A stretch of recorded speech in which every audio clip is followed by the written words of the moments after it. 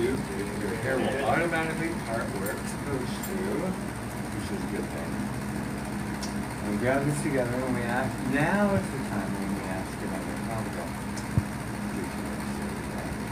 Oh yeah, I do want to save a little piece. Do you have a rubber band? No, but actually I have this one. It's going to be way too big, but Nope, nope, nope, nope. It'll be fine. okay. We're gonna do it now. Oh, Maybe one of these. Now this goes in your Your baby book. yeah. This goes in your baby Yes. book. You're so good.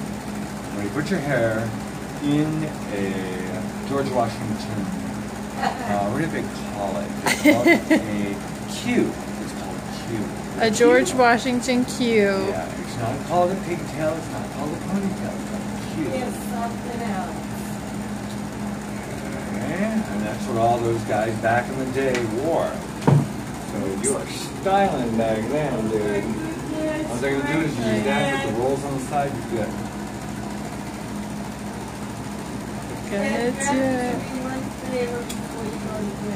Okay.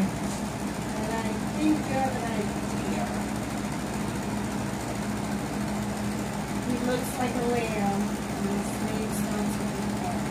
Well, that would be re- that would be a really good job for Richard. What do you think?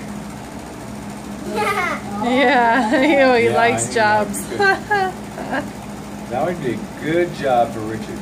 Yeah. He's got the job. Noodles is gonna have to go the farm, so we have to take him out before um, before we go to dinner. Okay.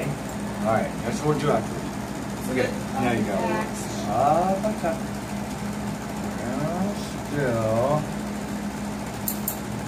And this is the cut. This is the only one that's ever gonna happen. This is the first cut.